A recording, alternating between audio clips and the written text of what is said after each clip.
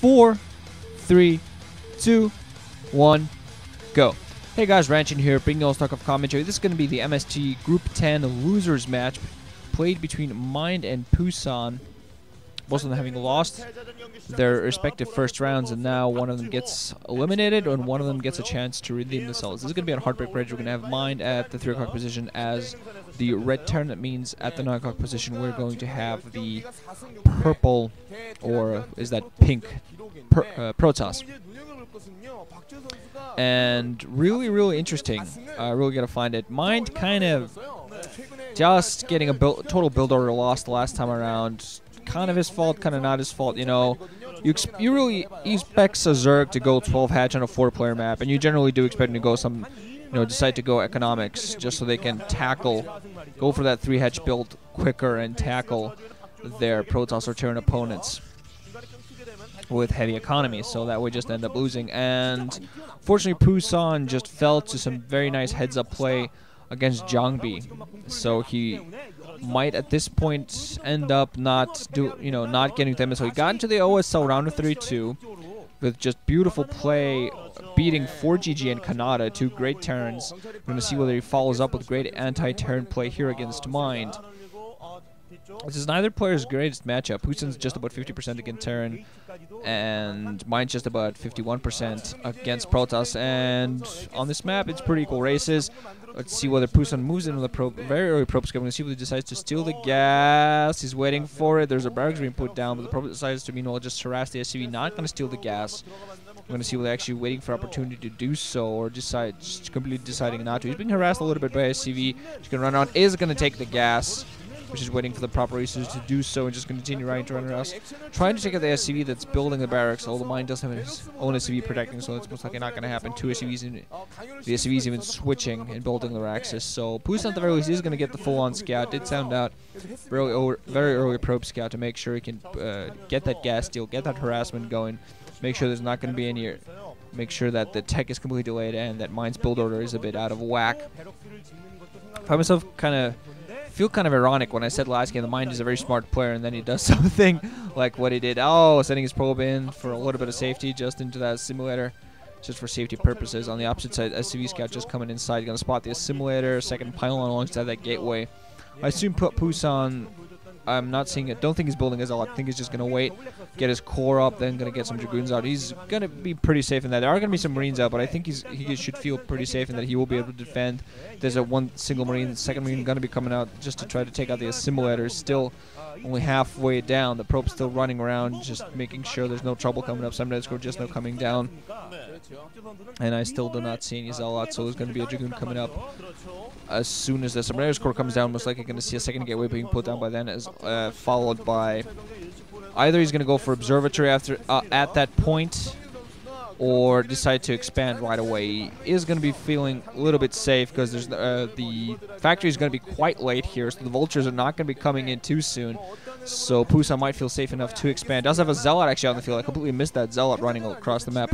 Apologize about that, but is that one probe and that one Zealot. They're not going to be able to run inside to harass. There is our four Marines on the field at this point uh, already. There are going to be more soon. No Goon range. There we go. Goon range coming up just now. So there's going to be two gate goon range. And the SCV, meanwhile, for Mind, he's going to spot that out completely. Mind going to move out with an SCV and four Marines going to push that Zealot away. Not uh, Those are not going to be able to actually manage to do anything. So Pusan, on the very least, try to put on some pressure. Now, actually, going to move the probe to the temple of the upper right hand position.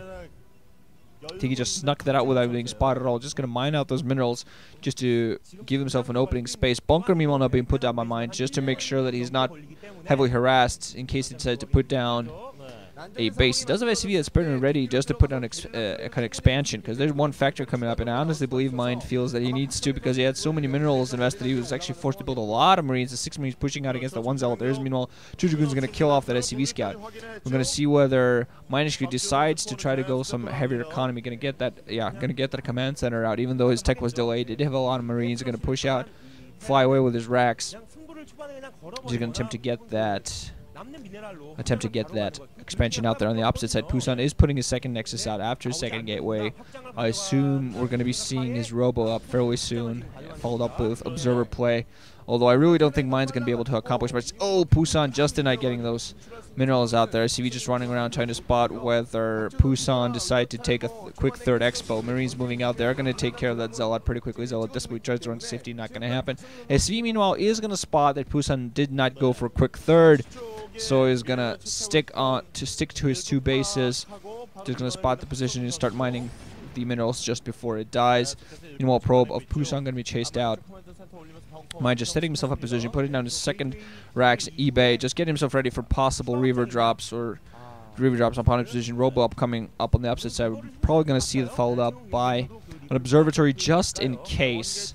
I really don't think any sort of vulture harassment would be possible for Mind at this point unless he decides to go for a starport soon.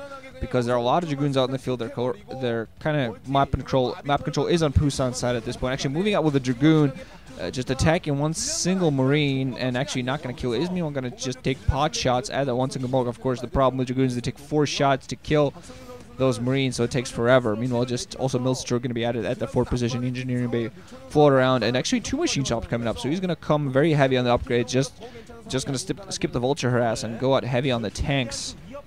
Uh, quite possibly even get siege mode first. Had that one single tank out. To try to at least push these dragoons away. These three dragoons are indeed to push away. Don't want to push in too close to the bunker.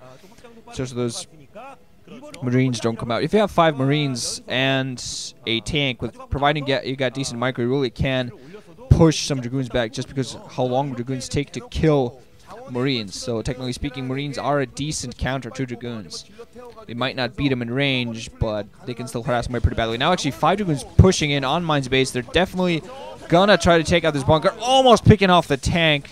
But tank does have siege at this point. Actually to be repaired there, so the Dragoons are not to be able to push in enough. Uh, robotics facility before observers actually. So he's not going to get a, try to get another scout inside of Mind's base. Just to try to get that Reaver harassment done uh, before anything else. Should have his first shot on the way. Mind actually decided to block off fully. Going to put in that additional supply depot. He's going to be going to be forced to float away that Rax once he wants to move out. First shuttle on the way, so he's going to be a Reaver up. And there are turrets over the field for Mind, so if he manages to uh, push this back, he's going to be pretty good position. Putting in an armory as we speak. Uh, have not seen academies for him yet, so he does not have scan at this point. Going for upgrades for his tanks before anything else. But yeah, if he manages, Pusan managed to do some decent I'm actually not sure if he built any Reaver or not. Just decided to move out with the shuttle. Almost like actually, never mind. Did put a Zealot in there, so he might also be raiding them for bombs. He's gonna need those for bombs most. Most definitely, second refinery coming up for Mind, the upset. And Pusan is at this point going to take his third. You have to stay, try to stay a base ahead of the Terrans if at all possible. And if he manages to take that third base and hold it with that pylon wall, possibly in a counter to alongside trying to get some upgrades up and try to hold that alongside if Pusan can get that harassment done take out at least half a dozen SCVs not without losing a shuttle or a reaver. I mean even half a dozen up to a dozen will be great somewhere between the numbers then he can just pull back uh, just not pressure anymore just stick on what he has and that shuttle is going to get spotted as it attempts to go in. There are turrets all over the place and does not have speed, so he's not going to get too much accomplished. The Reaver is going to spot it out. He's going to kill a Vulture tank. Meanwhile, he's going to drop down. There's going to be a Zealot in that, so it is going to get dropped just to he's two Zealots, in fact. Going to force the tank to unsiege, and it is going to get several probes kills. Going to get another Scarab before it dies. Oh, beautiful Scarab there. Getting a lot of SCV kills there. Did I say probe kills earlier? I meant SCV kills. Meanwhile, now he's just going to get another pot shots on that shuttle. We're Going to see who actually drops that Reaver. No, there was a siege tank there in rage, so he's not going to try to attempt another. Didn't have any more Zealot bombs to take the